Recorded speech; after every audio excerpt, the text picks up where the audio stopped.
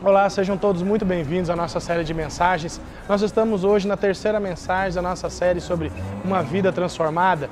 E eu repito mais uma vez que uma visão bíblica das nossas vidas inclui uma preocupação com uma vida transformada.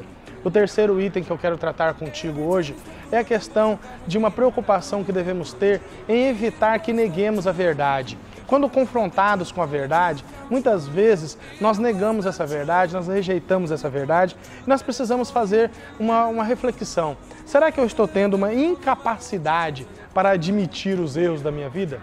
Quando você é confrontado numa mensagem, quando o pregador toca na ferida e aponta erros, como é que você reage? Muitas pessoas acabam reagindo como Adão fez, que transferiu a culpa para outra pessoa. Esse é um problema. Se você quer ter uma vida transformada, você não pode transferir a culpa dos seus pecados para outra pessoa. Você precisa admitir as suas próprias falhas.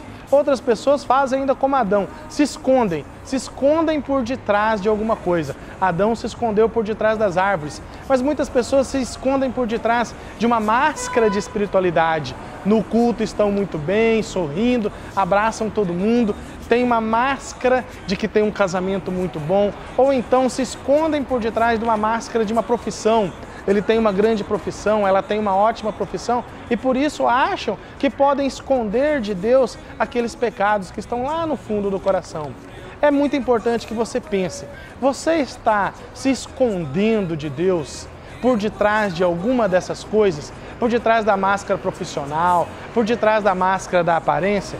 É importante que você faça uma reflexão como você está reagindo quando é confrontado com a verdade. Certa vez a palavra de Deus nos conta sobre um relato do apóstolo Paulo em Atos capítulo 26, versículo 24, quando ele estava pregando. Então uma pessoa pegou e falou assim: Paulo, você está ficando louco. As muitas palavras estão fazendo você delirar.